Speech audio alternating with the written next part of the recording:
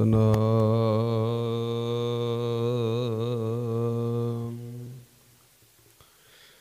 ਵਾਹਿਗੁਰੂ ਸਾਹਿਬ ਜੀਓ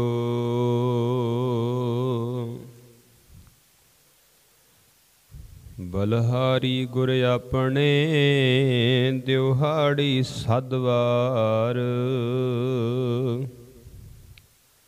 ਜਿਨ ਮਾਨਸ ਤੇ ਦੇਵਤੇ ਕੀਏ, ਕਰਤਨਾ ਲਾਗੀ ਵਾਰ। ਵਾਹਿਗੁਰੂ ਸਾਹਿਬ ਜੀਓ, ਸਾਧ ਸੰਗ ਦੁਸ਼ਮਨ ਸਭ ਮੀਤ, ਸਾਧੂ ਕੈ ਸੰਗ ਮਹਾ ਪੁਨੀਤ। ਸਾਧ ਸੰਗ ਦੁਸ਼ਮਨ ਸਭ ਮੀਤ, ਸਾਧੂ ਕੈ ਸੰਗ ਮਹਾ ਪੁਨੀਤ। ਸਾਧ ਸੰਗ ਕਿਸ ਸਿਉ ਨਹੀਂ ਬੈਰ, ਸਾਧਕ ਸੰਗ ਨਾ ਬੀਗਾ ਪੈਰ। ਸਾਧ ਕੇ ਸੰਗ ਨਾਹੀ ਕੋ ਮੰਦਾ ਸਾਧ ਸੰਗ ਜਾਣੈ ਪਰਮਾਨੰਦਾ। ਸਾਧ ਕੇ ਸੰਗ ਨਾਹੀ ਹੋ ਤਾਪ। ਸਾਧ ਕੇ ਸੰਗ ਤਜੈ ਸਭ ਆਪ। ਆਪੇ ਜਾਣੈ ਸਾਧ ਬੜਾਈ ਨਾਨਕ ਸਾਧ ਪ੍ਰਭੂ ਬਨ ਆਈ। ਆਪੇ ਜਾਣੈ ਸਾਧ ਬੜਾਈ ਨਾਨਕ ਸਾਧ ਪ੍ਰਭੂ ਬਨ ਆਈ। ਪਰਮ ਸਤਕਾਰਯੋਗ ਚਵਰ ਛਤਰ ਤਖਤ ਦੇ ਮਾਲਕ। ਤਨ ਤਨ ਸਤਿਗੁਰੂ ਸਾਹਿਬ ਸ੍ਰੀ ਗੁਰੂ ਗ੍ਰੰਥ ਸਾਹਿਬ ਸੱਚੇ ਪਾਤਸ਼ਾਹ ਜੀ ਦੀ ਪਾਵਨ ਪਵਿੱਤਰ ਹਜੂਰੀ ਅੰਦਰ ਸੁਭਾਏ ਮਨ ਸਤ ਸੰਗੀ ਪਿਆਰ ਵਾਲੇ ਵਡਭਾਗੇ ਹੋ।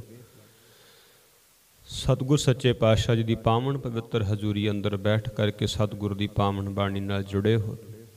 ਧੰਨ ਗੁਰੂ ਅਰਜਨ ਦੇਵ ਸਾਹਿਬ ਸੱਚੇ ਪਾਤਸ਼ਾਹ ਜੀ ਦੀ ਪਵਿੱਤਰ ਬਾਣੀ ਸ੍ਰੀ ਸੁਖਮਣੀ ਸਾਹਿਬ ਜੀ ਦੀ ਵਿਚਾਰ ਲੜੀਵਾਰ ਆਪ ਜੀ ਸਰਵਣ ਕਰਦੇ ਆ ਰਹੇ ਹੋ। ਆਓ ਗੁਰਮੁਖੋ ਸਤਿਗੁਰੂ ਪਾਤਸ਼ਾਹ ਜੀ ਦੇ ਜਿਸ ਪਾਵਨ ਸ਼ਬਦ ਦਾ ਪਾਠ ਆਪਨੇ ਸਰਵਣ ਕੀਤਾ, ਇਸ ਅਗਲੇ ਦੋ ਬੰਦਾਂ ਦਾ ਵਿਚਾਰ ਆਰੰਭ ਕਰਨ ਤੋਂ ਪਹਿਲਾਂ ਗੁਰੂ ਬਖਸ਼ੀ ਫਤਿਹ ਨਾਲ ਸਾਂਝ ਪਾਈਏ। ਦੇਹੋ ਅਸ਼ੀਸ਼ ਪਿਆਰ ਨਾਲ ਆਖੋ, ਵਾਹਿਗੁਰੂ ਜੀ ਕਾ ਖਾਲਸਾ, ਵਾਹਿਗੁਰੂ ਜੀ ਕੀ ਫਤਿਹ।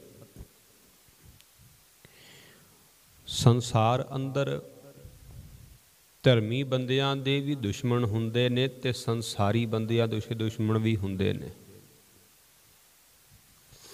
ਕਈ ਵਾਰ ਤਾਂ ਇਸ ਤਰ੍ਹਾਂ ਦਾ ਵੀ ਮਨ ਵਿੱਚ ਵਿਚਾਰ ਆਉਂਦਾ ਵੀ ਜਿਹੜਾ ਬੰਦਾ ਹੈ ਹੀ ਧਰਮੀ ਦਾ ਦੁਸ਼ਮਣ ਕਾਦਾ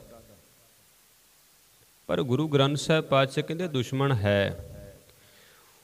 ਜੇ ਧਰਮੀ ਹੈ, ਉਹਦੇ ਦੁਸ਼ਮਣ ਜੇ ਬਾਹਰ ਨਹੀਂ, ਤੇ ਉਹਦੇ ਅੰਦਰ ਹੋਏਗਾ। ਪਰ ਦੁਸ਼ਮਣ ਤਾਂ ਹੈ।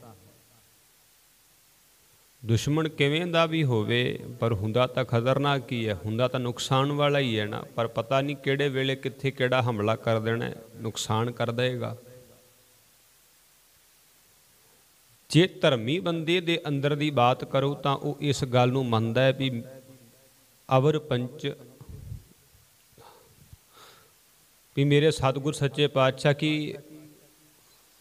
ਅਵਰ ਪੰਚ ਹਮ ਏਕ ਜਨਾ ਕਿਉ ਰਾਖੋ ਘਰ ਬਾਰ ਮਨਾ? ਮਾਰੈ, ਲੂਟੈ, ਨੀਤ ਨੀਤ। ਕਿਸ ਆਗੇ ਕਰੀ ਪੁਕਾਰ ਜਨਾ? ਸ਼੍ਰੀ ਰਾਮ ਨਾਮਾ ਉਚਰ ਮਲਾ ਸ਼੍ਰੀ ਰਾਮ ਨਾਮਾ ਉਚਰ ਮਨਾ, ਆਗੇ ਜਮ ਦਲ ਬਿਖਮ ਕਣਾ। ਸਤਿਗੁਰੂ ਕਹਿੰਦੇ, ਇੱਕ ਹੈ, ਦੁਸ਼ਮਣ ਅੰਦਰ ਵੀ ਹੈ, ਦੁਸ਼ਮਣ ਬਾਹਰ ਵੀ ਹੈ। ਜੇ ਅੰਦਰ ਦੁਸ਼ਮਣੀ ਹੈ ਤੇ ਬਾਹਰ ਦੁਸ਼ਮਣ ਹੈ। ਜੇ ਅੰਦਰ ਦੁਸ਼ਮਣੀ ਨਾ ਹੋਵੇਗੀ ਤੇ ਫਿਰ ਬਾਹਰ ਦੁਸ਼ਮਣੀ ਵੀ ਨਹੀਂ ਹੋਏਗਾ। ਗੁਰੂ ਅਰਜਨ ਦੇਵ ਸਾਹਿਬ ਸੱਚੇ ਪਾਤਸ਼ਾਹ ਜੀ ਨੂੰ ਤੱਤੀ ਤਵੀ ਤੇ ਬਿਠਾ ਬੈਠੇ ਸਨ ਤਾਂ ਸਾਈ ਮੀਆਂ ਮੀਰ ਵਰਗੇ ਮਹਾਂਪੁਰਖ ਆਖਣ ਲੱਗੇ, ਸਤਿਗੁਰੂ, ਇੱਕ ਵਾਰੀ ਹੁਕਮ ਕਰ ਦਿਓ, ਮੈਂ ਇਹਨਾਂ ਦੀ ਤਾੜੀ ਅਸਮਾਨ ਤੇ ਧਰਤੀ ਦੀ ਵਜ, ਤਾੜੀ ਵਜਾਉਣ ਦੀ ਤਾਕਤ ਰੱਖਦਾ ਸਤਿਗੁਰੂ ਪਾਤਸ਼ਾਹ ਕਹਿੰਦੇ, ਸਾਈਂ ਜੀ, ਜੇ ਖੁਦਾ ਨੇ ਐਡੀ ਤਾਕਤ ਬਖਸ਼ੀ ਹੈ, ਤੇ ਇਸ ਤਾਕਤ ਨੂੰ ਜਰਨ ਦੀ ਤਾਕਤ ਵੀ ਚਾਹੀਦੀ ਹੈ। ਸੁਭਾਵਕ ਹੈ, ਕੱਲਾ ਤਾਕਤ ਦਾ ਹੋਣਾ ਜ਼ਰੂਰੀ ਨਹੀਂ ਹੁੰਦਾ, ਤਾਕਤ ਨੂੰ ਜਰਨ ਦੀ ਤਾਕਤ ਵੀ ਹੋਣੀ ਜ਼ਰੂਰੀ ਹੈ।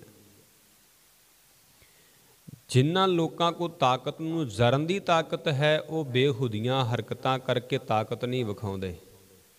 ਜਿਨ੍ਹਾਂ ਕੋ ਤਾਕਤ, ਜਰਨ ਦੀ ਤਾਕਤ ਨਹੀਂ ਹੈ, ਉਹ ਹਰ ਗੱਲ ਨਾਲ ਲੜਾਈ ਲੈਣ ਨੂੰ ਤਿਆਰ ਹੁੰਦੇ ਵੀ ਮੈਂ ਮੈਂ ਆਪਣੀ ਤਾਕਤ, ਉਹਨੂੰ ਆਪਣੇ ਅੰਦਰ ਦੇ ਖੂਨ, ਆਪਣੀ ਤਾਕਤ ਦਾ ਗੁਮਾਨ ਹੋ ਜਾਂਦਾ ਹੈ।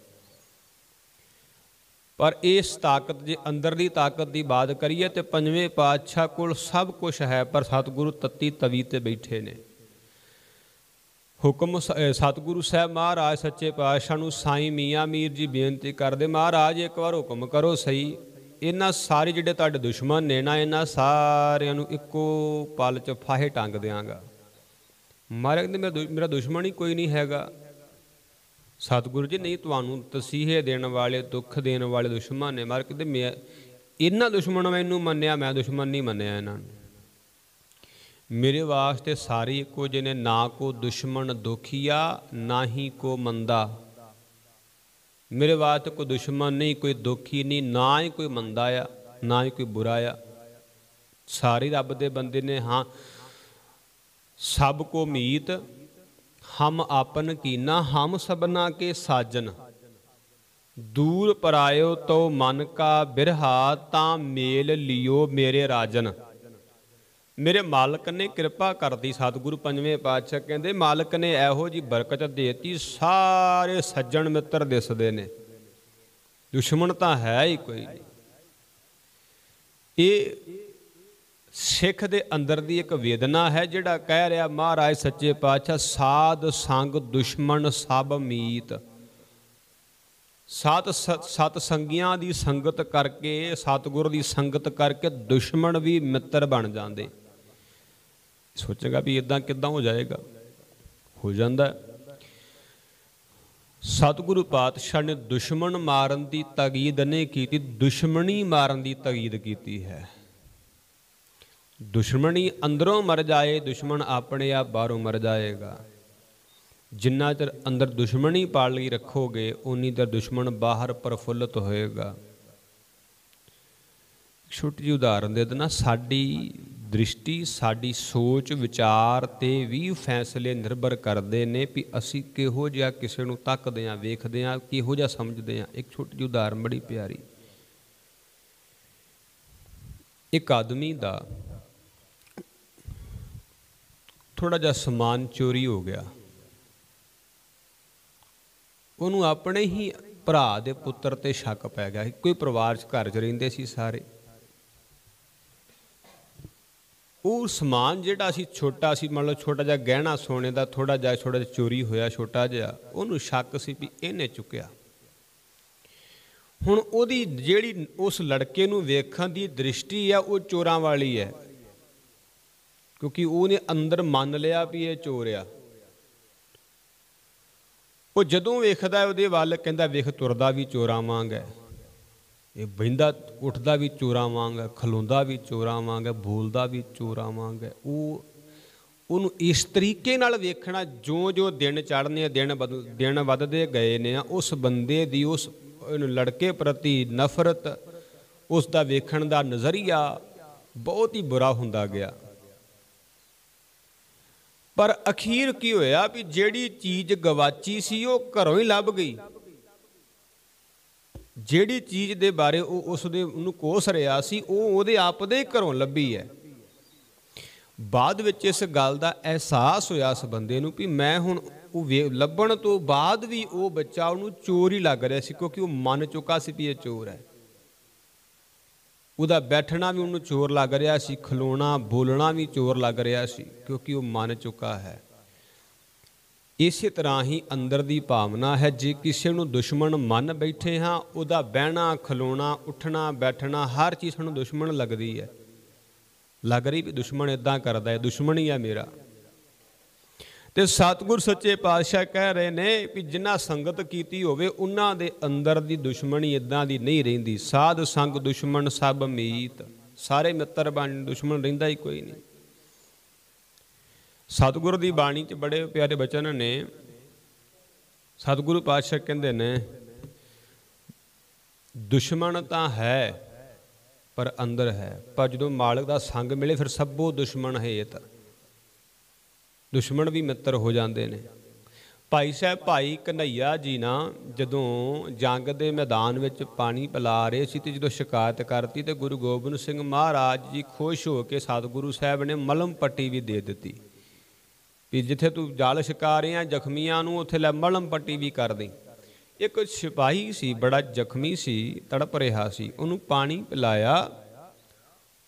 ਉਹਦੇ ਜ਼ਖਮ ਤੇ ਪੱਟੀ ਕਰ ਰਹੇ ਸੀ ਤੇ ਉਹਨੂੰ ਜਦੋਂ ਉਹਨੂੰ ਮਾੜੀ ਜੀ ਹੋਸ਼ ਮਹਿਸੂਸ ਹੋਈ, ਅੱਖਾਂ ਖੋਲੀਆਂ ਤੇ ਉਹ ਵੇਖਦਾ, ਭਾਈ ਕਨਈਆ ਕਹਿ ਲੱਗਾ, ਤੁਸੀਂ, ਤੂੰ ਮੇਰੇ ਪੱਟੀ ਕਿਉਂ ਕਰਦਾ ਪਿਆ? ਮੈਂ ਤੈਨੂੰ ਮਾਰ ਦਿਆਂਗਾ, ਤੂੰ ਦੁਸ਼ਮਣ ਹੈ ਮੇਰਾ। ਜਿਸ ਦੇ ਪੱਟੀ ਕਰ ਰਹੇ ਨੇ, ਜਿਹੜਾ ਜ਼ਖਮੀ ਹੋਇਆ, ਉਹ ਭਾਈ ਕਨਈਆ ਜੀ ਨੂੰ ਕਹਿ ਰਿਹਾ, ਤੂੰ ਦੁਸ਼ਮਣ ਮੇਰਾ, ਮੈਨੂੰ ਪੱਟੀ ਨਾ ਕਰ, ਮੈਂ ਤੈਨੂੰ ਮਾਰ ਦਿਆਂਗਾ। ਉਹ ਕਹਿਣ ਲੱਗਾ, ਤੂੰ ਮੈਨੂੰ ਮਾਰੇਗਾ, ਮੈਂ ਤੈਨੂੰ ਬਚਾ ਲਵਾਂਗਾ। ਤੂੰ ਮੈਨੂੰ ਮਾਰੇਗਾ, ਮੈਂ ਫਿਰ ਵੀ ਤੇਰੇ ਪੱਟੀ ਕਰਾਂਗਾ। ਤੂੰ ਮੈਨੂੰ ਜੇ ਕੁਝ ਕਹੇਗਾ, ਮੈਂ ਤੈਨੂੰ ਫਿਰ ਵੀ ਪਾਣੀ ਪਿਲਾਵਾਂਗਾ। ਉਹ ਬੜਾ ਹੈਰਾਨ ਹੋਇਆ, ਤੂੰ ਕਿਹੋ ਜਿਹਾ ਬੰਦਾ ਹੈ? ਮੈਂ ਤੈਨੂੰ ਜਾਨੋਂ ਮਾਰਨ ਦੀ ਗੱਲ ਕਰ ਰਿਹਾ, ਕਹਿੰਦਾ ਵੀ ਤੇਰਾ ਕੰਮ ਮਾਰਨਾ ਹੈ, ਮੇਰਾ ਕੰਮ ਬਚਾਉਣਾ ਹੈ। ਕਹਿੰਦਾ, ਹੈਰਾਨ ਵਾਲੀ ਗੱਲ ਹੈ, ਇਸ ਗੱਲ ਤੋਂ ਬੜਾ ਮੈਂ ਪਰੇਸ਼ਾਨ ਆ ਵੀ ਤੂੰ, ਤੁਸੀਂ ਲੋਕ ਆਪ ਹੀ ਸਾਨੂੰ ਜ਼ਖਮ ਦੇ ਰਹੇ ਆਪ ਪੱਟੀ ਕਰ ਰਹੇ ਜੇ, ਆਪ ਸਾਨੂੰ ਪਾਣੀ ਪਿਲਾ ਰਹੇ ਜੇ। ਉਹ ਕਹਿੰਦਾ, ਦੁਸ਼ਮਣ ਕਹਿ ਲੱਗੇ, ਜ਼ਖਮ ਜ਼ਖਮ ਅਸੀਂ ਨਹੀਂ ਦੇ ਰਹੇ, ਤੁਸੀਂ ਜ਼ਖਮ ਖਾਣ ਆਏ ਜੇ। ਤੁਸੀਂ ਇੱਥੇ ਨਾ ਆਉਂਦੇ। ਕਹਿੰਦੇ, ਗੁਰੂ ਗੋਬਿੰਦ ਸਿੰਘ ਸਾਡਾ ਦੁਸ਼ਮਣ ਆ। ਕਹਿੰਦੇ ਫਿਰ ਗੁਰੂ ਗੋਬਿੰਦ ਸਿੰਘ ਨੂੰ ਮਿਲ ਲਓ। ਪਰ ਕਹਿੰਦਾ ਮੈਨੂੰ ਵੀ ਤੇ ਗੁਰੂ ਗੋਬਿੰਦ ਸਿੰਘ ਨੇ ਭੇਜਿਆ ਹੈ। ਮੈਨੂੰ ਵੀ ਤੇ ਗੁਰੂ ਗੋਬਿੰਦ ਸਿੰਘ ਨੇ ਆਖਿਆ, ਜਿੱਥੇ ਜ਼ਖਮੀ ਲੱਭਦਾ, ਪਿਆਸਾ ਲੱਭਦਾ, ਉਹਦੀ ਮਲਮ ਪੱਟੀ ਵੀ ਕਰ ਦਿੰਦਾ ਪਾਣੀ ਵੀ ਪਿਲਾ, ਕਹਿੰਦਾ ਕਿ ਤੇਰਾ ਗੁਰੂ ਕਿਹੋ ਜਿਹਾ ਹੈ? ਇੱਕ ਪਾਸੇ ਸਾਨੂੰ ਵੱਢ ਦਿੰਦਾ ਹੈ, ਮਾਰ ਦਿੰਦਾ ਆ, ਇਨੇ ਇਨੇ ਤੀਰ ਲੰਘਾ ਦਿੰਦਾ ਸਰੀਰਾਂ ਵਿੱਚੋਂ ਦੀ ਇੱਕ ਪਾਸੇ ਸਾਨੂੰ ਪਾਣੀ ਵੀ ਪਿਲਾ ਰਿਹਾ ਜ਼ਖਮ ਵੀ ਸਾਡੇ ਠੀਕ ਕਰ ਰਿਹਾ ਦੁਸ਼ਮਣ, ਤੁਹਾਡਾ ਗੁਰੂ ਕਿਹੋ ਜਿਹਾ ਕਹਿੰਦਾ ਭਾਈ ਕਨਈਆ ਜੀ ਨੇ ਆਖਿਆ, ਮੇਰੇ ਗੁਰੂ ਦੇ ਅੰਦਰ ਦੁਸ਼ਮਣੀ ਨਹੀਂ ਹੈ। ਮੇਰੇ ਸਤਗੁਰ ਨੇ ਤੁਹਾਡੇ ਦੁਸ਼ਮਣ ਵਿੱਚ ਵੀ ਮਿੱਤਰ ਵੇਖਿਆ, ਦੁਸ਼ਮਣ ਵਿੱਚ ਵੀ ਰੱਬ ਵੇਖਿਆ। ਤੁਸਾਂ ਨੇ ਮਿੱਤਰ ਵਿੱਚ ਵੀ ਰੱਬ, ਤੁਸੀਂ ਮਿੱਤਰ ਵਿੱਚ ਦੁਸ਼ਮਣ ਵੇਖਿਆ। ਮੈਂ ਤੇਰੇ ਪੱਟੀ ਕਰ ਰਿਹਾ, ਤੂੰ ਮੈਨੂੰ ਮਾਰਨ ਦੀ ਗੱਲ ਕਰ ਰਿਹਾ। ਮਤਲਬ ਤੁਹਾਡੇ ਵੇਖਣ ਦੀ ਦ੍ਰਿਸ਼ਟੀ ਇਹ ਹੈ ਵੀ ਇਹ ਸਾਰੇ ਸਾਡੇ ਵੈਰੀ ਨੇ, ਦੁਸ਼ਮਣ ਨੇ। ਤੁਹਾਡੀ ਵੇਖਣ ਦੀ ਬਿਰਤੀ ਹੈ ਮਿੱਤਰ ਵਿੱਚ ਵੀ ਦੁਸ਼ਮਣ ਵਾਲੀ। ਸਾਡੇ ਗੁਰੂ ਤੇ ਸਾਡੇ ਸਾਡੇ ਸਤਗੁਰ ਨੇ ਜੋ ਸਾਨੂੰ ਸਿਖਾਇਆ ਹੈ, ਉਹ ਇਹ ਸਿਖਾਇਆ ਵੀ ਨਾ ਕੋ ਬੈਰੀ, ਨਹੀਂ ਬੇਗਾਨਾ, ਸਗਲ ਸੰਗ ਹਮ ਕੋ ਬਨ ਆਈ ਉਹ ਕਹਿੰਦੇ, ਦੁਸ਼ਮਣ ਮੇਰਾ ਕੋਈ ਨਹੀਂ, ਸਾਰੇ ਮਿੱਤਰ ਨੇ। ਉਹ ਬੜਾ ਹੈਰਾਨ ਹੁੰਦਾ ਤੇ ਹੱਥ ਜੋੜ ਦਿੰਦਾ ਕਹਿ ਲੱਗਾ, ਅੱਜ ਤੋਂ ਬਾਅਦ ਕਦੇ ਆਨੰਦਪੁਰ ਵੱਲ ਨੂੰ ਮੂੰਹ ਨਹੀਂ ਕਰਨਾ। ਮੈਂ ਹੈਰਾਨ ਹਾਂ ਤੁਹਾਡੇ ਉੱਤੇ। ਇਹ ਦੁਸ਼ਮਣੀ ਨੂੰ ਖਤਮ ਕਰਨ ਦਾ ਬੜਾ ਪਿਆਰਾ, ਆਸਾਨ ਤਰੀਕਾ ਕਿਹੜਾ? ਸਾਧ ਸੰਗ। ਦੁਸ਼ਮਣ ਸਭ ਅਮੀਤ। ਸਾਧੂ ਦੀ ਸੰਗਤ, ਸਤਗੁਰ ਦੀ ਸੰਗਤ ਦੁਸ਼ਮਣ ਵੀ ਮਿੱਤਰ ਬਣਾ ਦਿੰਦੀ ਹੈ। ਸਾਧੂ ਕੈ ਸੰਗ ਮਹਾ ਪੁਨੀਤ। ਸਤਗੁਰ ਦੀ ਸੰਗਤ ਕੀਤਿਆਂ ਹਿਰਦਾ, ਪਾਪੀ ਤੋਂ ਪਾਪੀ ਹਿਰਦਾ ਵੀ ਪਵਿੱਤਰ ਹੋ ਜਾਂਦਾ ਹੈ। ਮਹਾ ਪੁਨੀਤ।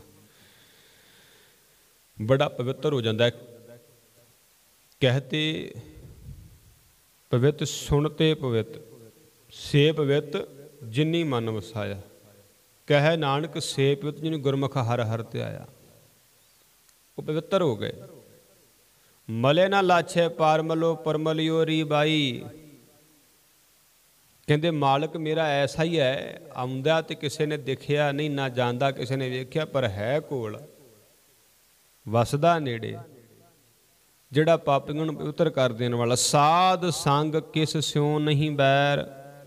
ਸਾਧੂ ਦੀ ਸੰਗਤ ਕੀਤਿਆਂ ਕੋਈ ਵੈਰ ਨਹੀਂ ਰਹਿੰਦਾ।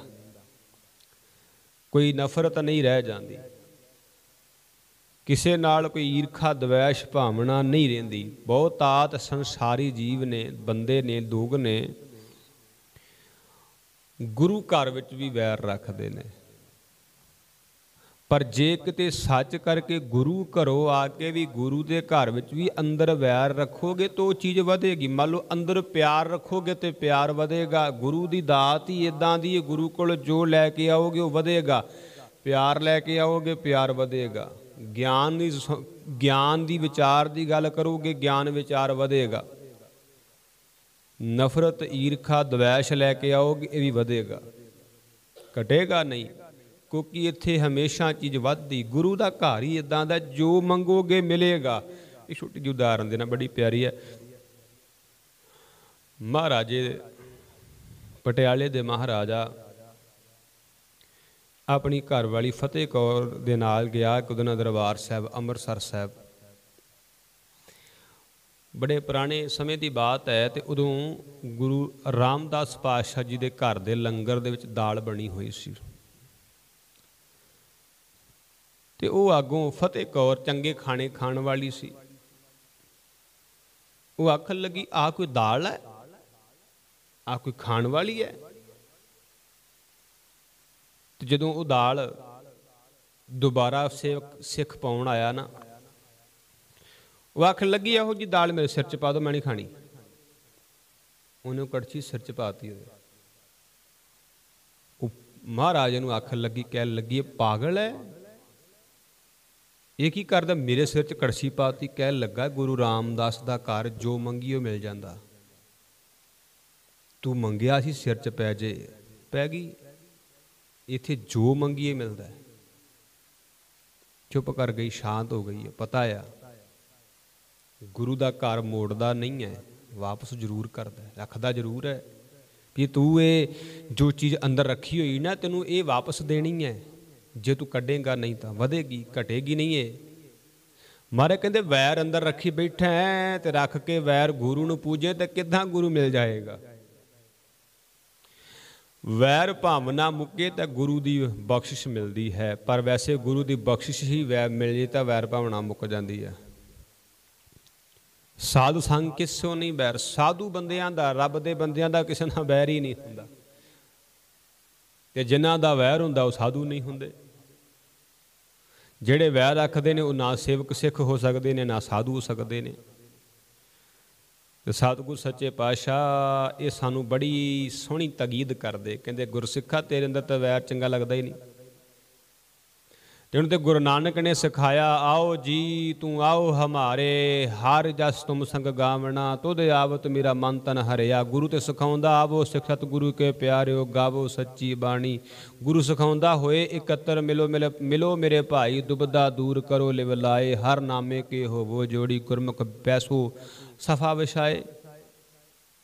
ਗੁਰੂ ਤੇ ਕਹਿੰਦਾ, ਆਵੋ ਭੈਣੇ, ਗੱਲ ਮਿਲੇ ਮਿਲ ਅੰਕ ਸਹੇਲੜੀਆਂ ਮਿਲ ਕੇ ਕਰੇ ਕਹਾਣੀਆਂ, ਸਮਰੱਥ ਕੰਤ ਕੀਆਂ ਗੁਰੂ ਤੇ ਇੱਕ ਕਰਦਾ ਹੈ, ਇੱਕ ਪਿਤਾ, ਇੱਕ ਸਕੇਹ ਮੁਬਾਰਕ ਤੂੰ ਮੇਰਾ ਗੁਰਹਾਈ। ਜਦੋਂ ਇਹ ਚੀਜ਼ਾਂ ਸਮਝ ਆ ਗਈਆਂ, ਫਿਰ ਵੈਰ ਮੁੱਕ ਜਾਂਦਾ। ਪਰ ਜਿੰਨਾ ਚਿਰ ਇਹ ਗੱਲਾਂ ਸਮਝ ਨਹੀਂ ਨਾ ਆਉਣੀਆਂ, ਸਾਨੂੰ ਗੁਰੂ ਦੇ ਨਾਲ ਵੀ ਬੈਠ, ਗੁਰੂ ਕੋਲ ਬੈਠਿਆਂ ਹੋਇਆਂ ਵੀ ਲਾਗੇ ਬੰਦਾ ਬੈਠਾ ਵੈਰੀ ਦਿਸੇਗਾ। ਬਾਬੇ ਕਬੀਰ ਸਾਹਿਬ ਨੇ ਜ਼ਿਕਰ ਕੀਤਾ, ਕਹਿੰਦੇ ਕਰ ਫਕਰ ਦਾਏ ਮੈਂ ਲਾਏ ਚਸ਼ਮੇ, ਜਹ ਤਹਾਂ ਮੌਜੂਦ। ਕਹਿੰਦੇ, ਕਿ ਜੇ ਫਕੀਰ ਵਾਲੀ ਐਣਕ ਲਾ ਕੇ ਵੇਖ, ਰੱਬ ਤੇ ਕੋਲ ਬੈਠਾ ਤੂੰ ਕਦੀ ਵੇਖਿਆ ਹੀ ਨਹੀਂ? ਤੇ ਦੁਸ਼ਮਣੀ ਵਾਲੀ ਅੱਖ, ਦੁਸ਼ਮਣੀ ਦੀ ਐਣਕ ਲਾਈ ਹੋਈ ਹੈ, ਜਿੱਧਰ ਵੇਖਦਾ ਦੁਸ਼ਮਣ ਲੱਭਦੇ ਪਏ ਸਾਰੇ ਪਾਸੇ। ਇੱਕ ਛੋਟੀ ਜਿਹੀ ਉਦਾਹਰਨ ਬੜੀ ਪਿਆਰੀ ਹੈ। ਕਹਿੰਦੇ, ਇੱਕ ਆਦਮੀ ਚਸ਼ਮੇ ਵੇਚਦਾ ਸੀ। ਐਨਕ ਵੇਚਦਾ ਸੀ। ਉਸ ਆਦਮੀ ਨੇ ਰੰਗ ਬਰੰਗੇ ਕਈ ਤਰ੍ਹਾਂ ਦੇ ਚਸ਼ਮੇ ਰੱਖੇ ਹੋਏ ਸੀ ਤੇ ਗੱਲ ਕਹਿਣ ਲੱਗਾ ਕਹਿਣ ਲੱਗਾ ਵੀ ਮੇਰੇ ਕੋਲ ਇੱਕ ਚਸ਼ਮਾ ਐਸਾ ਵੀ ਹੈ, ਤੁਹਾਨੂੰ ਨਾ ਜਿਹੋ ਜੀ ਤੁਸੀਂ ਚੀਜ਼ ਵੇਖਣੀ ਚਾਹੁੰਦੇ ਹੋਵੋਗੇ, ਤੁਹਾਨੂੰ ਉਹੋ ਜੀ ਦਿਸੇਗੀ। ਜਿਹੋ ਜੀ ਵੇਖਣੀ ਚਾਹੋਗੇ, ਉਹ ਬੜੇ ਲੋਕ ਹੈਰਾਨ ਹੋਏ ਵੀ ਇਸ ਤਰ੍ਹਾਂ ਦਾ ਚਸ਼ਮਾ ਕਿਹੜਾ ਆ ਗਿਆ? ਅਕਸਰ ਇਦਾਂ ਹੁੰਦਾ ਵੀ ਜੋ ਕੁਝ ਬਾਹਰ ਹੈ, ਚਸ਼ਮੇ ਰਾਹੀਂ ਉਹ ਦਿਸਦਾ ਹੈ, ਪਰ ਅਸੀਂ ਜੋ ਸੋਚਾਂਗੇ ਉਹ ਦਿਸੇਗਾ, ਇਹ ਕਿਸ ਤਰ੍ਹਾਂ ਹੋ ਸਕਦਾ ਹੈ? ਇਹ ਚਸ਼ਮਾ ਬੜਾ ਮਹਿੰਗਾ। ਇੱਕ ਚਸ਼ਮਾ ਉਹੀ ਸੀ, ਇੱਕ ਆਦਮੀ ਨੇ ਉਹ ਖਰੀਦਿਆ, ਉਹ ਕਹਿਣ ਲੱਗਾ ਵੀ ਕਮਾਲ ਹੋ ਗਈ। ਕਹਿੰਦਾ ਵੀ ਜੋ ਤੂੰ ਸੋਚੇਗਾ, ਦਿਸੇਗਾ ਉਹੀ। ਹੁਣ ਉਹ ਆਦਮੀ ਚਸ਼ਮਾ ਲਾ ਕੇ ਵੇਖਦਾ ਹੈ, ਜੋ ਸੋਚ ਰਿਹਾ ਸੀ, ਦਿਸ ਰਿਹਾ ਸੀ। ਬੜਾ ਹੈਰਾਨ, ਕਹਿੰਦਾ ਸੱਚ ਗੱਲ ਹੈ। ਕਹਿੰਦਾ ਇਦਾਂ ਕਿਦਾਂ ਹੋ ਸਕਦਾ ਹੈ? ਉਹ ਕਦਨ ਫਿਰ ਉਹ ਸਿਆਣੇ ਬੰਦੇ ਨੇ ਆਖਿਆ, ਕਸੂਰ ਚਸ਼ਮੇ ਦਾ ਨਹੀਂ ਹੈ। ਚਸ਼ਮੇ 'ਚ ਕੁਝ ਐਸਾ ਨਹੀਂ ਹੈ, ਪਰ ਤੇਰੇ ਅੰਦਰ ਕੁਝ ਹੈ। ਕਿਉਂਕਿ ਤੇਰੀਆਂ ਅੱਖਾਂ ਨੇ ਜੋ ਕੁਝ ਮੰਨ ਲਿਆ ਨਾ, ਉਹੀ ਵੇਖਣਾ ਪਸੰਦ ਕਰਦੀਆਂ ਨੇ। ਤੇ ਇਹਨਾਂ ਨੂੰ ਜੇ ਇਹਨਾਂ ਅੱਖਾਂ ਨੇ ਜੇ ਰੱਬ ਵੇਖਣਾ ਚਾਹਿਆ ਤੇ ਰੱਬ ਵੀ ਦਿਸੇਗਾ, ਜੇ ਇਹਨਾਂ ਨੇ ਦੁਸ਼ਮਣ ਵੇਖਣਾ ਦਾ ਮਨ ਬਣਾ ਲਿਆ, ਦੁਸ਼ਮਣ ਹੀ ਸਭ ਦਿਸਣੇ ਨੇ। ਜੇ ਇਸ ਨੇ ਸੱਜਣ ਮਿੱਤਰ ਵੇਖਣ ਦੀ ਜਾਚ ਸਿੱਖੀ ਤਾਂ ਸਭ ਸਭ ਮਿੱਤਰ ਹੀ ਦਿਸਣੇ ਨੇ। ਬਾਬੇ ਕਬੀਰ ਨੇ ਆਖਿਆ, ਚਸ਼ਮਾ ਲਾਉਣਾ ਤੇ ਰੱਬ ਦੇ ਨਾਮ ਵਾਲਾ ਲਾ, ਉਹ ਕੋਲ ਦਿਸੇਗਾ। ਕਰ ਫੱਕਰ ਦਾਇਮ ਲਾਇ ਚਸ਼ਮੇ ਜੈ ਤਾਂ ਮੌਜੂਦ। ਕਹਿੰਦੇ, ਸਾਧ ਸੰਗ ਕਿਸੋਂ ਨਹੀਂ ਬੈਰ? ਸਾਧਕ ਸੰਗ ਨਾ ਵਿੰਗਾ ਪੈਰ। ਜਿਨ੍ਹਾਂ ਸਾਧੂ ਦੀ ਸੰਗਤ ਕੀਤੀ, ਉਹਨਾਂ ਦਾ ਪੈਰ ਵਿੰਗੇ ਪਾਸੇ, ਪੁੱਠੇ ਪਾਸੇ ਨਹੀਂ ਗਿਆ। ਸਾਧ ਕੇ ਸੰਗ ਨਾਹੀ ਕੋ ਮੰਦਾ। ਜਿਨ੍ਹਾਂ ਸਾਧੂ ਸੰਗਤ ਕੀਤੀ, ਗੁਰੂ ਕੀ ਸੰਗਤ ਕੀਤੀ, ਉਹਨਾਂ ਵਾਸਤੇ ਕੋਈ ਵੀ ਮਾੜਾ ਨਹੀਂ। ਕੋਈ ਮੰਦਾ ਨਹੀਂ ਹੈ। ਸਾਧ ਸੰਗ ਜਾਣੈ ਪਰਮਾਨੰਦਾ। ਉਹ ਜਾਣਦੇ ਵੀ ਇਹ ਰੱਬ ਦਾ ਰੂਪ ਹੀ ਹੈ, ਇਹ ਵੀ ਰੱਬ ਦਾ ਹੀ ਬੰਦਾ ਹੈ।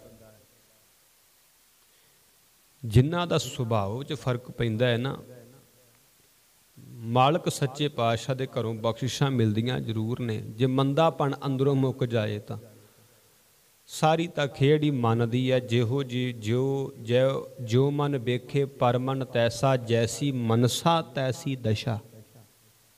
ਜਿਹੋ ਜੀ ਆਪਣੇ ਮਨ ਦੀ ਮਨਸਾ ਹੋਏਗੀ ਨਾ, ਜਿਹੋ ਜੀ ਆਪਣੇ ਮਨ ਦੇ ਖਿਆਲ ਹੋਣਗੇ, ਸਾਡੇ ਸਰੀਰ ਦੀ, ਸਾਡੇ ਬੋਲਚਾਲ ਦੀ, ਸਾਡੇ ਰਹਿਣ ਸਹਿਣ ਦੀ ਦਸ਼ਾ ਉਦਾਂ ਦੀ ਹੋਏਗੀ। ਜੇ ਮਨ 'ਚ ਵਿਚਾਰ ਜਿਹੋ ਜਿਹੇ ਹੋਣਗੇ, ਜੇ ਨੈਗੇਟਿਵਿਟੀ ਅੰਦਰ ਜ਼ਿਆਦਾ ਹੈ ਨਾ, ਤੇ ਹਰ ਵੇਲੇ ਜ਼ੁਬਾਨ ਤੋਂ ਵੀ ਨੈਗੇਟਿਵਿਟੀ ਨਿਕਲਣੀ ਹੈ ਵੇਖਣਾ ਵੀ ਨੈਗੇਟਿਵ ਹੈ, ਵਿਚਾਰ, ਬੈਠਣਾ, ਸਭ ਕੁਝ ਨੈਗੇਟਿਵ ਹੋ ਜਾਣਾ। ਪੋਜ਼ਿਟਿਵ ਹੋਏਗਾ, ਹਰ ਚੀਜ਼ ਪੋਜ਼ਿਟਿਵ ਦਿਸੇਗੀ।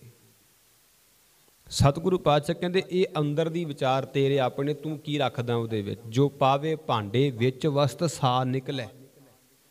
ਭਾਂਡੇ 'ਚ ਜੋ ਪਾਈ ਉਹੀ ਨਿਕਲਦਾ। ਤੇ ਸਤਿਗੁਰ ਕਹਿੰਦੇ, ਹਿਰਦਾ ਵੀ ਤਾਂ ਭਾਂਡਾ ਹੀ ਹੈ, ਵਿਚਾਰ ਦਿਮਾਗ, ਸੁਰਤ, ਇਹ ਵੀ ਤਾਂ ਭਾਂਡਾ ਹੀ ਹੈ। ਜਿਹ 'ਚ ਜੋ ਜਿਹੋ ਜੀ ਵਿਚਾਰ ਪਾਓਗੇ, ਉਹੋ ਜੀ ਨਿਕਲੇਗੀ। ਸਾਧਕ ਸੰਗ ਨਾਹੀ ਹੋ ਤਾਪ। ਜਿਨ੍ਹਾਂ ਸਾਧੂ ਸਤਿਗੁਰ ਦੀ ਸੰਗਤ ਕੀਤੀ ਹੈ, ਸਾਧੂਆਂ ਨੇ ਸੰਗਤ ਕੀਤੀ ਹੈ ਉਹਨਾਂ ਨੂੰ ਹਉਮੈ ਦਾ ਹੰਕਾਰ ਦਾ ਤਾਪ ਨਹੀਂ ਚੜਦਾ ਸਾਧਕ ਸੰਗ ਤਜੇ ਸਭ ਆਪ, ਉਹ ਆਪਣੀ ਹਉਮੈ ਤਿਆਗ ਦਿੰਦੇ। ਸਤਿਗੁਰੂ ਸੰਗ, ਸਾਧ ਦੀ ਸੰਗਤ ਕਰਨ ਵਾਲੇ ਆਪਣੀ ਆਪ ਦੀ ਆਪਣਤ, ਵੱਖਰਾਪਣ, ਹੰਕਾਰ, ਹਉਮੈ ਤਿਆਗ ਦਿੰਦੇ। ਆਪੇ ਜਾਣੈ ਸਾਧ ਵਡਾਈ। ਉਹ ਸਾਧ ਜਨਾਂ ਦੀ ਵਡਿਆਈ, ਸ਼ੋਭਾ ਦੇ ਬਾਰੇ ਪਰਮਾਤਮਾ ਆਪ ਹੀ ਜਾਣਦਾ ਨਾਨਕ ਸਾਧ ਪ੍ਰਭੂ ਬਨ ਆਈ। ਸਤਿਗੁਰ ਕਹਿੰਦੇ, ਸਾਧੂਆਂ ਦੀ ਪਰਮਾਤਮਾ ਨਾਲ ਹੀ ਬਣ ਆਉਂਦੀ ਹੈ। ਸਾਧ ਕੇ ਸੰਗ ਨਾ ਕਬਹੂ ਧਾਵੈ। ਜਿਨ੍ਹਾਂ ਸਤਿਗੁਰਾਂ ਦੀ, ਸਤਪੁਰਸ਼ਾਂ ਦੀ ਸੰਗਤ ਕੀਤੀ ਹੈ ਸਾਧਕ ਸੰਗ ਨਾ ਕਬਹੂ ਧਾਵੈ। ਕਬਹੂ ਧਾਵੇ ਅਰਥ ਇੱਕ ਥਾਂ ਟਿਕ ਜਾਂਦੇ ਨੇ, ਉਹ ਦਰ-ਦਰ ਤੇ ਭੱਜਦੇ ਨਹੀਂ ਇੱਕ ਥਾਂ ਡਿੱਗ ਗਏ ਹਨ। ਭਰੋਸਾ ਇੱਕ ਤੇ ਰੱਖੋਗੇ ਤੇ ਰੱਬ ਮਿਲ ਜਾਂਦਾ ਜੇ। ਚਾਰ ਦਿਨ ਕਿਸੇ ਹੋਰ ਤੇ ਤੇ ਚਾਰ ਦਿਨ ਕਿਸੇ ਹੋਰ ਤੇ ਆਸ ਰੱਖੋ, ਕੁੱਖ ਵੀ ਨਹੀਂ ਜੇ ਮਿਲਣਾ। ਸਾਧਕ ਸੰਗ ਸਦਾ ਸੁਖ ਪਾਵੇ। ਸਤਪੁਰਸ਼ਾਂ ਦੀ ਸੰਗਤ ਕਰਕੇ ਸੁਖ ਪ੍ਰਾਪਤ ਹੁੰਦਾ। ਹੈ ਸਾਧ ਸੰਗ ਬਸਤ ਅਗੋਚਰ ਲਹਿ। ਸਤਪੁਰਸ਼ਾਂ ਦੀ ਸੰਗਤ ਕਰਨ ਨਾਲ ਨਾ ਸਤ ਸੰਗੀ ਬੰਦੇ ਆਤਮਿਕ ਤੱਤ ਨੂੰ ਵੇਖ ਲੈਂਦੇ। ਅਗੋ ਮੈਂ ਜ਼ਿਕਰ ਕੱਲ ਵੀ ਕਰਿਆ ਸੀ, ਗੋਚਰ ਤੇ ਅਗੋਚਰ ਸ਼ਬਦ ਦਾ ਕੀ ਅਰਥ ਹੈ? ਗੋਚਰ ਹੁੰਦਾ ਪਹੁੰਚ ਕਰਨਾ। ਤੇਰੇ ਕੀਤੇ ਕੰਮ ਤੁਦੇ ਹੀ ਗੋਚਰੇ। ਗੋਚਰ ਹੁੰਦਾ ਜਿਵੇਂ ਅਸੀਂ ਕਹਦੇ ਵੀ ਆਹ ਕੰਮ ਤੇਰੇ ਗੋਚਰਾ ਹੀ ਹੈ ਬਈ। ਗੋਚਰਾ ਮਤਲਬ ਪਹੁੰਚ ਤੱਕ। ਆ ਗੋਚਰ ਉਹ ਵਾਹਿਗੁਰੂ ਜਿਹਦੇ ਤੱਕ ਪਹੁੰਚ ਨਹੀਂ ਹੈ। ਸਾਡੀ ਉਹ ਤੱਕ ਪਹੁੰਚ ਨਹੀਂ ਹੈ, ਪਰ ਉਹਦੀ ਸਾਡੇ ਤੱਕ ਪਹੁੰਚ ਹੈ। ਉਹ ਵੇਖੈ, ਉਹਨਾਂ ਨਦਰ ਨਾ ਆਵੇ। ਬਹੁਤਾ ਇਹੋ ਵਿਡਾਨ ਉਹ ਤਾਂ ਸਾਨੂੰ ਵੇਖਦਾ ਹੈ, ਪਰ ਅਸੀਂ ਉਹਨੂੰ ਨਹੀਂ ਵੇਖ ਪਾ ਰਹੇ। ਪਾਛੇ ਕਹਿੰਦੇ ਨੇ, ਸਾਧੂ ਕੈ ਸੰਗ ਅਜਰ ਸਹਿ। ਜਿਨ੍ਹਾਂ ਸਤਗੁਰ ਦੀ ਸੰਗਤ ਕੀਤੀ, ਉਹ ਅਜਰ ਨੂੰ ਵੀ ਜਰ ਲੈਂਦੇ। ਭਾਵ ਕਿ ਤਾਕਤ ਬਹੁਤ ਹੋਵੇ ਨਾ, ਆਜ਼ਰ। ਜ਼ਰ ਛੋਟੀ ਜਿਹੀ ਉਦਾਹਰਨ ਇਸ ਬਾਰੇ ਦੇਣਾ ਇਸ ਪ੍ਰਥਾ ਹੈ ਭਾਈ ਗੜੀਆ ਜੀ ਨਾ ਤੁਰੇ ਜਾ ਰਹੇ ਸੀ। ਸ਼ਾਹ ਦੌਲਾ ਮਿਲਿਆ। ਭਾਈ ਗੜੀਆ ਜੀ ਟੁੱਟੀ ਹੋਈ ਜੁੱਤੀ ਵੇਖ ਕੇ ਕਹਿ ਲੱਗਾ, ਹੋਵੇ ਸਿੱਖ ਗੁਰੂ ਹਰਗੋਬਿੰਦ ਸਾਹਿਬ ਦਾ ਟੁੱਟੀ ਟੁੱਟੀ ਪਾਈ ਫਿਰੇ। ਚੰਚਲਾ ਆਦਮ ਜੁੱਤੀ ਲੈ ਕੇ ਦਿਆਂ। ਉਹ ਆਖਣ ਲੱਗਾ ਵੀ ਮੇਰੀ, ਮੇਰੇ ਮਨ ਦੀ ਮੌਜ ਹੈ, ਮੈਂ ਇਦਾਂ ਦੀ ਪਾਉਣੀ ਚਾਹੁੰਦਾ। ਠੀਕ ਹੈ, ਜਿੱਦਾਂ ਦਾ ਹੈ ਸਫ਼ਰ ਮੈਂ ਕਰ ਲੈਣਾ। ਕਹਿੰਦਾ, ਮੈਨੂੰ ਇਸ ਗੱਲ ਦੀ ਮਹਿਸੂਸ ਸ਼ਰਮ ਸ਼ਰਮ, ਸ਼ਰਮਿੰਦਗੀ ਮਹਿਸੂਸ ਹੁੰਦੀ ਹੈ ਵੀ ਇੱਕ ਸਿੱਖ ਦਾ ਟੁੱਟਾ ਹੋਇਆ ਜੋੜਾ ਨਹੀਂ ਹੋਣਾ ਚਾਹੀਦਾ। ਜੋੜਾ ਨਵਾਂ ਹੋਣਾ ਚਾਹੀਦਾ ਸੋਹਣਾ ਹੋਣਾ ਚਾਹੀਦਾ ਉਹ ਕਹਿੰਦਾ ਵੀ ਮੈਂ ਲੈ ਲਾਂਗਾ, ਮੈਨੂੰ ਵੀ ਪਤਾ ਮੈਂ ਲੈ ਸਕਦਾ ਆ ਪਰ ਕਹਿੰਦਾ, ਨਹੀਂ। ਜ਼ਿਕਰ ਹੈ ਵੀ ਉਸ ਬੰਦੇ ਨੇ ਜ਼ਬਰਦਸਤੀ ਭਾਈ ਗੜੀਆ ਜੀ ਨੂੰ ਜੋੜਾ ਲੈ ਕੇ ਦੇਣਾ ਚਾਹਿਆ, ਪਰ ਭਾਈ ਗੜੀਆ ਜੀ ਨੇ ਆਖਿਆ, ਮੇਰੇ ਕੋ ਰੱਬ ਨੇ ਬੜੀ ਤਾਕਤ ਬਖਸ਼ੀ। ਲੈ ਸਕਦਾ। ਉਹ ਕਹਿੰਦਾ, ਤੇਰੇ ਤੋਂ ਹੈ ਕੱਖ ਨਹੀਂ। ਤੇਰੇ ਕੋ ਕੁਝ ਹੈਗਾ ਵੀ ਹੈ। ਤੂੰ ਲੈਣਾ ਕੀ ਰੁਪਈਆ? ਧੇਲਾ ਤੇਰੇ ਕੋਲ ਨਹੀਂ। ਉਹ ਕਹਿੰਦਾ, ਬੜਾ ਕੁਛ ਰਹਿਣ ਦੇ ਤੂੰ। ਮੰਨੇ ਨਾ। ਕਹਿੰਦੇ, ਭਾਈ ਗੜੀਆ ਜੀ ਹੁਣਾਂ ਇੱਕ ਜਗ੍ਹਾ ਦੇ ਉੱਪਰ ਹੱਥ ਧੋਤੇ ਸੀ। ਜਿਸ ਜਗ੍ਹਾ ਦੇ ਉੱਪਰ ਪਾਣੀ ਡੁੱਲਾ ਨਾ ਹੱਥਾਂ ਨੂੰ ਧੋ ਕੇ ਤੇ ਭਾਈ ਗੜੀਆ ਕਹਿੰਦੇ ਜਿੱਧਰ ਪਾਣੀ ਦੀ, ਉਹ ਡਿੱਗੇ ਹੋਏ ਪਾਣੀ ਦੀ ਧਾਰ ਗਈ ਹੈ ਨਾ, ਉਧਰ ਨੂੰ ਚੱਕ ਝਾਤੀ ਮਾਰ ਤੇ ਹੈਰਾਨ ਹੁੰਦਾ ਸ਼ਾਹ ਦੌਲੇ ਨੂੰ ਇਹ ਮਹਿਸੂਸ ਹੋ ਰਿਹਾ ਸੀ ਵੀ ਜਿੱਧਰ ਜਿੱਧਰ ਪਾਣੀ ਦੀ ਧਾਰ ਗਈ, ਹੱਥ ਧੋਣ ਵਾਲੇ ਪਾਣੀ ਦੀ, ਉਧਰ ਸੋਨਾ ਹੀ ਸੋਨਾ ਪਿਆ ਹੋਇਆ। ਉਹ ਕਹਿਣ ਲੱਗਾ, ਕਮਾਲ ਹੋ ਗਈ ਜੇ ਭਾਈ ਗੜੀਆ, ਏਡੀ ਤਾਕਤ ਹੈ ਤੇ ਫਿਰ ਗਰੀਬੀ ਕਿਉਂ? ਜੇ ਇੰਨਾ ਕੁਝ ਕੋਲ ਹੈ, ਫਿਰ ਗਰੀਬੀ ਕਿਉਂ? ਕਹਿੰਦਾ, ਮੈਨੂੰ ਗੁਰੂ ਨੇ ਜਰਨ ਨੂੰ ਆਜ਼ਰ ਨੂੰ ਜਰਨ ਦੀ ਜਾ ਸਿਖਾਈ ਹੈ। ਮੇਰੇ ਕੋਲ ਤਾਕਤ ਵਾਹਿਗੁਰੂ ਨੇ ਬੜੀ ਬਖਸ਼ੀ, ਪਰ ਮੈਨੂੰ ਜਰਨੀ ਆਉਂਦੀ ਹੈ। ਸਿੱਧਾਂ ਕੋਲ ਵੀ ਤਾਕਤਾਂ ਹੈਗੀਆਂ ਸੀ। ਸਿੱਧਾ ਵੀ, ਸਿੱਧ ਵੀ ਕਰਾਮਾਤ ਕਰਦੇ ਸੀ, ਪਰ ਜਰਨ ਦੀ ਤਾਕਤ ਨਹੀਂ ਸੀ। ਉਹ ਕੋਈ ਭਾਈ ਗੁਰਦਾਸ ਕਹਿੰਦੇ, ਇੱਕ ਨਾ ਨਾਗ ਹੋਏ, ਪੌਣ ਛੋੜਿਆ, ਇੱਕ ਨਾ ਅਵਰਖਾ ਅਗਨ ਵਸਾਈ। ਕੋਈ ਸੱਪ ਬਣ ਕੇ ਮੂੰਹ ਅੱਗ ਕੱਢੀ ਜਾਂਦਾ ਸੀ, ਕੋਈ ਹਵਾ ਚੁੱਡੀ ਜਾਂਦਾ ਸੀ। ਤਾਰੇ ਤੋੜੇ ਭੰਗਰਨਾਥ ਕੋਈ ਇੱਕ ਪਰ ਕਰਕੇ ਉੱਡਰਨ, ਕੋਈ ਆਪਣੇ ਸਰੀਰ ਨੂੰ ਖੰਭ ਲਾ ਕੇ ਉੱਡਦੇ ਫਿਰਦੇ ਹਵਾ ਦੇ ਵਿੱਚ। ਬੜੀਆਂ ਕਰਾਮਾਤਾਂ ਵਿਖਾਉਂਦੇ ਸੀ। ਪਰ ਗੁਰੂ ਨਾਨਕ ਸਾਹਿਬ ਸ਼ਾਂਤ ਬੈਠੇ, ਚੁੱਪ ਕਰਕੇ ਬੈਠੇ। ਕੋਈ ਐ ਰੁੱਖ ਪੁੱਟੀ ਫਿਰਦਾ, ਕੋਈ ਪਹਾੜ ਚੁੱਕੀ ਫਿਰਦਾ, ਕੋਈ ਚਿੜੀਆਂ ਕਾਂ ਬਣ ਕੇ ਉੱਡੀ ਫਿਰਦਾ, ਕੋਈ ਸੱਪ ਬਣ ਕੇ ਉੱਡੀ ਫਿਰਦਾ, ਬੜਾ ਕੁਝ ਕਰ ਰਹੇ ਸੀ। ਪੂਰਾ ਐ ਜੰਗ ਮਲਾਈ ਹੋਈ ਸੀ ਆਪਸ ਵਿੱਚ ਉਹਨਾਂ ਨੇ। ਵੀ ਡਰ ਜੇ ਗੁਰੂ ਨਾਨਕ ਚਲਾ ਜਾਵੇ। ਗੁਰੂ ਨਾਨਕ ਨੂੰ ਵਿਖਾਈਏ, ਸਾਡੇ ਕੋਲ ਤਾਕਤਾਂ ਬੜੀਆਂ ਨੇ। ਜਦੋਂ ਗੁਰੂ ਨਾਨਕ ਸਾਹਿਬ ਉੱਤੇ ਕੋਈ ਪ੍ਰਭਾਵ ਤੇ ਅਸਰ ਨਾ ਨਾ ਪਿਆ ਉਹਨਾਂ ਦੀਆਂ ਨਾ ਕਰਾਮਾਤਾਂ ਦਾ ਤੇ ਆ ਕੇ ਥੱਲੇ ਬਹਿ ਗਏ ਤੇ ਕਹਿੰਦੇ, ਬਾਬਾ, ਤੇਰੇ ਨਾਲ ਗੱਲ ਕਰਨੀ ਹੈ। ਮਾਰੇ ਕਹਿੰਦੇ, ਗੱਲ ਕਰਨ ਦੇ ਤੁਹਾਡੇ ਨਾਲ ਆਇਆ। ਆ ਖਲਾਰਾ ਤੁਸੀਂ ਆਪੇ ਪਾ ਕੇ ਬੈਠੇ ਮੈਂ ਤੁਹਾਨੂੰ ਖੜਾ ਕੁਝ ਕਿਹਾ ਸੀਗਾ। ਕਹਿੰਦੇ, ਅਸੀਂ ਤੇ ਵਿਖਾਉਣ ਵਾਸਤੇ ਕੀਤਾ ਸੀ ਵੀ ਸ਼ਾਇਦ ਤੁਸੀਂ ਸਾਡੀ ਜਿਹੜੀ ਤਾਕਤ ਨੂੰ ਵੇਖ ਕੇ ਡਰ ਕੇ ਤੇ ਘਰ ਚਲੇ ਜਾਓਗੇ ਵਾਪਸ। ਸਤਿਗੁਰੂ ਕਹਿੰਦੇ, ਮੈਨੂੰ ਇਹਨਾਂ ਇਹਨਾਂ ਚੀਜ਼ਾਂ ਤੋਂ ਬਿਲਕੁਲ ਜਮਾ ਡਰ ਨਹੀਂ ਲੱਗਦਾ। ਉਹਨਾਂ ਨੇ ਇਹ ਵੀ ਸਵਾਲ ਕੀਤਾ ਸੀ ਵੀ ਗੁਰੂ ਨਾਨਕ ਸਾਹਿਬ ਨੂੰ ਤੋਹ ਜਗ ਨੂੰ ਕਿਆ ਕਰਾ, ਮਾਤ ਦਿਖਾਲੀ, ਕੁਛ ਵਿਖਾਲੇ, ਅਸਾਂ ਨੂੰ ਕਿਆ ਢਿੱਲ ਅਵੇਹੀ ਲਾਈ। ਵੀ ਤੁਸੀਂ ਸੰਸਾਰ ਨੂੰ ਕਰਾਮਾਤ ਕਿਹੜੀ ਵਿਖਾਈ, ਸਾਨੂੰ ਵਿਖਾਓ। ਗੁਰੂ ਨਾਨਕ ਸਾਹਿਬ ਕਹਿੰਦੇ, ਗੁਰ ਸੰਗਤ ਬਾਣੀ ਬਿਨਾ ਦੂਜੀ ਓਟ ਨਹੀਂ ਹੈ ਰਾਈ। ਗੁਰੂ ਦੀ ਸੰਗਤ ਤੇ ਰੱਬ ਦੀ ਬਾਣੀ ਤੋਂ ਬਿਨਾ ਕਿਸੇ ਹੋਰ ਦਾ ਸਹਾਰਾ ਹੀ ਨਹੀਂ ਲਿਆ। ਗੁਰੂ ਨਾਨਕ ਸਾਹਿਬ ਕਹਿੰਦੇ ਉਹਨਾਂ ਕੋਲੋਂ ਕਰਾਮਾਤਾ ਸੀ, ਭਾਈ ਗੁਰਦਾਸ ਕਹਿੰਦੇ ਗੁਰੂ ਨਾਨਕ ਕੋਲੋਂ ਪਰਮਾਤਮਾ ਦੀ ਤਾਕਤ ਸੀ। ਪਰ ਗੁਰੂ ਨਾਨਕ ਸਾਹਿਬ ਨੇ ਉਹਨਾਂ ਵਾਂਗ ਉਹ ਚੀਜ਼ ਨੂੰ ਉਦਾਂ ਨਹੀਂ ਵਿਖਾਇਆ। ਮਾਰੇ ਕਹਿੰਦੇ ਰੱਬ ਨੇ ਤਾਕਤਾਂ ਬਹੁਤ ਬਖਸ਼ੀਆਂ, ਪਰ ਇਸ ਚੀਜ਼ ਨੂੰ ਜਰਨਾ ਵੀ ਆਉਣਾ ਚਾਹੀਦਾ। ਹਜ਼ੂਰ ਕਹਿ ਰਹੇ ਨੇ, ਸਾਧੂ ਕੈ ਸੰਗ ਅਜਰ ਸਹਿ। ਜਿਨੇ ਵਾਹਿਗੁਰੂ ਦੀ ਤਾਕਤ, ਜਿਨੇ ਸਤਿਗੁਰੂ ਸੰਗਤ ਕੀਤੀ, ਉਹ ਵਿਖਾਵਾ ਨਹੀਂ ਕਰਦਾ। ਉਹ ਆਪਣੀ ਤਾਕਤ ਨੂੰ ਜਰ ਨਹੀਂ ਜਾਣਦਾ ਆ। ਪਰ ਬਹੁਤਾਤ ਐਸਾ ਹੁੰਦਾ ਬੰਦਾ ਆਪਣੀ ਤਾਕਤ ਨੂੰ ਦੁਨੀਆ 'ਚ ਪੇਸ਼ ਕਰਨਾ ਚਾਹੁੰਦਾ, ਨਸ਼ਰ ਕਰਨਾ ਚਾਹੁੰਦਾ ਵੀ ਲੋਕਾਂ ਨੂੰ ਵਿਖਾਓ ਮੇਰੇ ਕੋਲ ਕਿੰਨੀ ਕੁ ਤਾਕਤ ਹੈ, ਮੇਰੀ ਕਿੰਨੀ ਪਹੁੰਚ ਹੈ। ਪਾਤਸ਼ਾਹ ਕਹਿੰਦੇ ਜਿਹਦੀ ਸਤਿਗੁਰ ਨਾਲ, ਰੱਬ ਨਾਲ, ਸਾਧੂ ਦੇ ਸਤਿਪੁਰਸ਼ਾਂ ਨਾਲ ਬਣ ਆਏ, ਉਹ ਆਪਣੀ ਤਾਕਤ ਲੁਕਾ ਲੈਂਦਾ। ਸਾਧਕ ਸੰਗ ਬਸੇ ਥਾਨ ਉੱਚੇ, ਸਾਧੂ ਦੀ ਸੰਗਤ ਕਰਨ ਵਾਲਾ ਉੱਚੇ ਥਾਂ ਤੇ ਮਾਲਕ ਨੂੰ ਪਹੁੰਚਾ ਦਿੰਦਾ, ਸ਼ੋਭਾ ਉੱਚੀ ਕਰ ਦਿੰਦਾ, ਪ੍ਰਾਪਤੀ ਉੱਚੀ ਕਰ ਦਿੰਦਾ, ਸਾਧੂ ਕੈ ਸੰਗ ਮਹਿਲ ਪਹੁੰਚੈ ਸਾਧੂ ਦੀ ਸੰਗਤ ਕਰਨ ਵਾਲਾ ਪਰਮਾਤਮਾ ਦੇ ਮਹਿਲ ਤੱਕ, ਪਰਮਾਤਮਾ ਦੇ ਘਰ ਤੱਕ ਪਹੁੰਚ ਕਰ ਲੈਂਦਾ ਹੈ। ਸਿੱਧੀ ਸਾਂਝ ਬਣਾ ਲੈਂਦਾ ਹੈ। ਸਾਧਕ ਸੰਗ ਦ੍ਰਿੜੇ ਸਭ ਧਰਮ, ਸਵਾਦੂਆਂ ਦੀ ਸੰਗਤ ਕਰਕੇ ਜਗਿਆਸੂ ਪਰਮਾਤਮਾ ਤੱਕ ਪਹੁੰਚ ਤਾਂ ਕਰਦਾ ਹੈ। ਕਹਿੰਦੇ ਉੱਥੇ ਉਹਦੇ ਫਰਜ਼ਾਂ ਤੋਂ ਕੁਤਾਹੀ ਨਹੀਂ ਕਰਦਾ, ਭਾਵ ਕਿ ਆਪਣੇ ਧਰਮ ਨੂੰ ਚੰਗੀ ਤਰ੍ਹਾਂ ਦ੍ਰਿੜ ਕਰਕੇ ਜ਼ਿੰਮੇਵਾਰੀਆਂ ਨਾਲ ਨਿਭਾਉਂਦਾ ਹੈ। ਸਾਧਕ ਸੰਗ ਕੇਵਲ ਪਾਰ ਬ੍ਰਹਮ ਸਾਧੂ ਦੀ ਸੰਗਤ ਕੀਤਿਆਂ ਕੇਵਲ ਪਰਮਾਤਮਾ ਹੀ ਦਿਸਦਾ ਹੈ, ਸਰ ਪਾਸੇ ਉਹਦੀ ਹੀ ਜੋਤ ਦਾ ਪਸਾਰਾ ਨਜ਼ਰ ਆਉਂਦਾ ਆ। ਸਾਧਕ ਸੰਗ ਪਾਏ ਨਾਮ ਨਿਧਾਨ, ਜਿਨ੍ਹਾਂ ਸਤਿਗੁਰ ਦੀ ਜਾਂ ਸਾਧੂ ਦੀ ਸੰਗਤ ਕੀਤੀ, ਉਹਨਾਂ ਨੇ ਦੁਨੀਆ ਦੇ ਸਾਰੇ ਖਜ਼ਾਨੇ ਪਾ ਲਏ। ਨਾਨਕ, ਸਾਧੂ ਕਹਿ ਕੁਰਬਾਨ। ਜੇ ਸਾਧੂ ਦੀ ਸੰਗਤ ਕੀਤਿਆਂ ਇੰਨਾ ਕੁਝ ਮਿਲਦਾ ਹੈ, ਮਨ ਟਿਕ ਜਾਂਦਾ ਸੁੱਖ ਮਿਲਦੇ ਆ, ਅਗੋਚਰ ਵਾਹਿਗੁਰੂ ਮਿਲਦਾ ਆ, ਅਜਰ ਜਰਨ ਦੀ ਜਾਚ ਆ ਜਾਂਦੀ ਹੈ। ਕਹਿੰਦੇ ਜੇ ਉੱਚੇ ਥਾਂ ਤੇ ਪ੍ਰਾਪਤੀ ਮਿਲਦੀ ਹੈ, ਧਰਮ ਦ੍ਰਿੜ ਹੋ ਜਾਂਦਾ ਆ, ਪਰਮੇਸ਼ਰ ਵਾਹਿਗੁਰੂ ਦਿਸਣ ਲੱਗ ਪਵੇ, ਕਹਿੰਦੇ ਐਸੇ ਸਾਧੂ ਤੋਂ ਤਾਂ ਗੁਰੂ ਵੀ ਕੁਰਬਾਨ ਨਾਨਕ ਸਾਧੂ ਕਹਿ ਕੁਰਬਾਨ। ਨਾਨਕ ਜੀ ਕਹਿੰਦੇ, ਮੈਂ ਤਾਂ ਇਹ ਸਾਧੂ ਤੋਂ, ਐਸੇ ਗੁਰੂ ਤੋਂ, ਐਸੇ ਸਤਿਗੁਰ ਸਾਧੂਆਂ ਤੋਂ ਕੁਰਬਾਨ ਜਾਵਾਂ ਜਿਹੜਾ ਦੁਨੀਆਦਾਰੀ ਨੂੰ ਭੁੱਲਿਆ ਹੋਇਆ ਨੂੰ ਸਿੱਧੇ ਰਸਤੇ ਪਾ ਦੇ। ਅਗਲੀ ਵਿਚਾਰ ਕੱਲ ਨੂੰ ਭੁੱਲਾਂ ਦੀ ਖਿਮਾ ਬਲਾਓ ਫਤਿਹ। ਵਾਹਿਗੁਰੂ ਜੀ ਕਾ ਖਾਲਸਾ, ਵਾਹਿਗੁਰੂ ਜੀ ਕੀ ਫਤਿਹ।